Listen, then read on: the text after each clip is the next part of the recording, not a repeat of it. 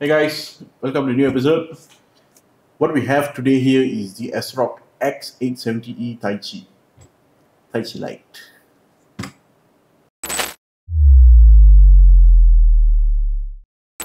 Okay, starting off with this motherboard, okay, this motherboard is catered to Ryzen 9000 series processors.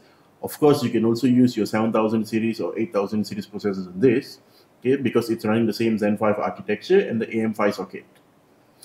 So what's nice about this motherboard is that in line with new power requirements of processors, okay, most motherboard manufacturers have amped up their VRM configurations. In this motherboard, you've got a 27 power phase configuration of 24 plus 2 plus 1. The best part about this motherboard is that it comes with 110 amps of smart power stages. So if you're into enthusiast overclocking, it has you covered here. Let's move off to something, something which is more relatable to the consumer market. Okay, M.2 configurations. This motherboard has four M.2 configurations. You've got one, two, three over here, and one tucked away over here. So the good thing about this is that this config this M.2 slot uses ASRock's easy unlocking method, whereby all you have to do is just push this circle, this button like thing here, and it's off. This M.2 slot is PCIe 5.0 ready, whereas 1, 2, and 3 is PCIe 4. As for the X16 slots, these are also PCIe 5.0 ready. Moving on, you've got 4 RAM slots, which support speeds of up to 8200 megahertz out of the box. For regular consumer, I don't think you're actually going to be chasing that kind of speeds. But if you're into enthusiast overclocking, by all means go ahead. This is the motherboard you need to push those RAM speeds. Besides that, you've got Q-code LEDs, smart buttons, fan headers, plenty of I/O ports to choose from. You've got six SATA ports. You've got a front USB Type-C port. You've got USB 3.2 for your casings. You've got ample of fan ports. You've got ample of RG, ARGB connectors that you can actually plug into board. Moving on, what's new in X870E boards? Of course, you've got an excessive amount of PCI lanes. The, the, the, the E in X870E does not stand for excessive, all right? It stands for extreme.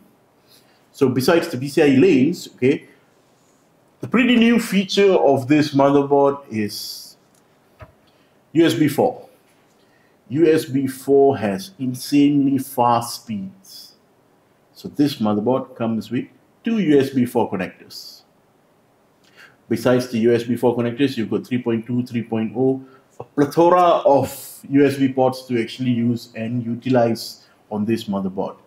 So if you're like me where I need at least 6 to 7 USB slots, it's a perfect choice. As for networking for this motherboard, this motherboard comes with a 5 gigabit per second RJ45 connector, quite fast LAN cable speeds, okay? But here's the best part. The motherboard comes with Wi-Fi 7. If you're not sure what Wi-Fi 7 is all about, please go ahead and check it out because you'd be really amazed with the speeds you can achieve on Wi-Fi 7. There's still an embargo on pricing, so I'm not allowed to reveal it, okay? But it's not going to be cheap. It's definitely not going to be cheap. All the more with USB 4, the cost of implementing these features on motherboards would gradually scale the final price of a motherboard being sold. So what do I like about the board and what do I don't like about the board? It's pretty subjective. This is just my opinion. What I like about the board is the color scheme. It's black and silver. It's not like the X870E Taichi, which is bronze, black, and too much of RGB going on in it. The Taichi Lite series focuses more on performance and lesser on aesthetics. So if you want RGB, you look at the X870E Taichi. If you don't want RGB, this is your choice. I love the VRM configurations, the amount of power juice it has for your processors. I'm okay with the number of M.2 slots. However, I would have been more happier if this was also using ASRock's easy release method. I guess that's about it as to what I like about the board. What I don't really like, it's very subjective as I mentioned earlier, is the size of the board. It's an E-ATX motherboard.